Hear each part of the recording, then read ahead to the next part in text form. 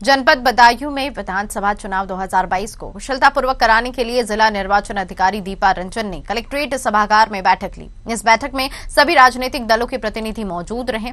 DEO ने राजनीतिक दलों से कहा कि भारत निर्वाचन आयोग के दिशा निर्देशों से राजनीतिक पार्टियों को अवगत कराना ही इस बैठक का मुख्य उद्देश्य है। उन्होंने बताया कि जनपद में द्वितीय चरण में चुनाव होगा। 15 जनवरी तक कोई भी रोड शो, पदयात्रा, साइकिल या बाइक रैली का आयोजन नहीं होगा। अगर कोई भी भारत निर्वाचन आयोग की गाइडलाइन का उल्लंघन करते हुए पाया गया तो उस पर नियमानुसार कार्रवाई की जाएगी।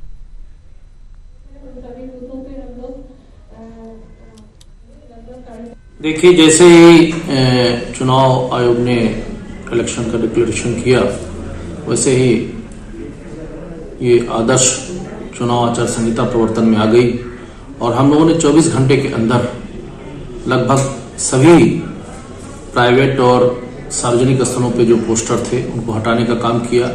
जो वॉल राइटिंग्स थे, उनको हटाने का काम लगभग पूर्ण हो चुका है। जो बचे हैं शेष, उनको किया जा रहा है।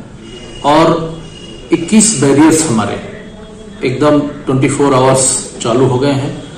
18 फ्लाइंग स्क्वाड की टीमें एक्टिव हो गई हैं। वो पूरे अपने क्षेत्र में भ्रमणशील हैं पुलिस फोर्स के साथ। जो एमसीसी का वायलेशन करेगा, उसके खिलाफ कार्रवाई की जा रही है।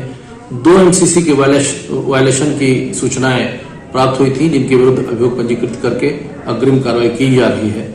हमारे जनपद में कुल 118 मजरे वनरेबल चिन्हित किए गए हैं। हमारे जनपद में कुल छह विधानसभा है। और छह विधानसभा में कुल तेईस लाख पचासी हज़ार हमारे मतदाता है। कुल जनपद में सत्ताईस सौ इकतीस बूथ बनाए गए हैं। ये सभी बूथ जहाँ पे 1250 तक मतदाता है आयोग के मानक के हिसाब से बनाए गए हैं। इससे ऊपर यदि किसी बूथ पे मतदाता बढ़ते हैं तो वहाँ पे अतिरिक्त मतदान केंद्र बनाया जाएगा। हमारे जनपद में आज के डेट में 18 से 19 साल के कुल पैंतालीस हज़ार मतदाता है और जनपद का जो हमारा जेंडर रेशियो है, वो हमारे जनसंख्या का जो जेंडर रेशियो है आठ सौ उनसठ उससे ज़्यादा है। हमारा आज के डेट में आठ सौ बासठ मतदाता है जो महिलाएँ हमारी इस अनुपात में हमारे मतदान प्रक्रिया में भाग लेंगी।